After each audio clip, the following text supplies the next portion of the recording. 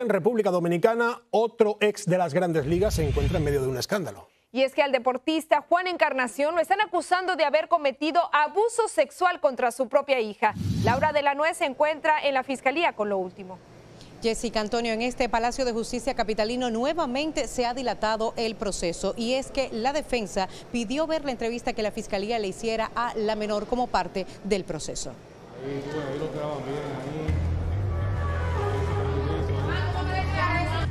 Juan Encarnación, de 45 años, está acusado de agredir sexualmente a su hija menor de edad. Estando ella acostada en su habitación, él penetró a la misma y le agredió sexualmente.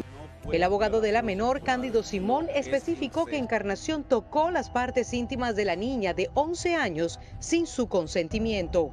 Según el abogado, la madre le contó que su hija se despertó durante la agresión, pero siguió aparentando estar dormida y en cuanto pudo, le contó lo que había pasado en presencia de su papá. Juan lo sabe, porque ella se lo dijo a su mamá en presencia de él.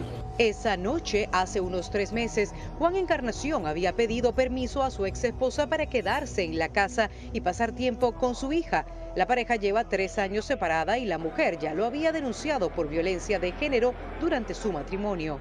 El Ministerio Público pide que Encarnación permanezca en prisión por un año para tenerlo custodiado mientras avanzan las investigaciones.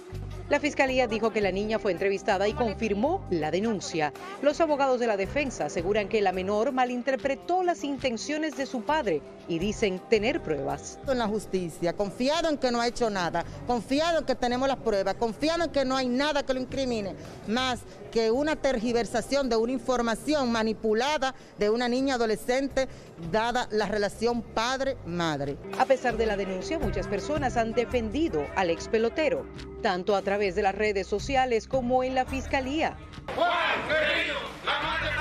Nosotros somos una familia intachable y vamos a mantener la frente en alto en todo momento. Y será justicia. La justicia saldrá a la luz. El ex pelotero permanecerá detenido en este Palacio de Justicia y no será hasta el próximo jueves que se determinará si irá o no a juicio. Ahora regreso con ustedes.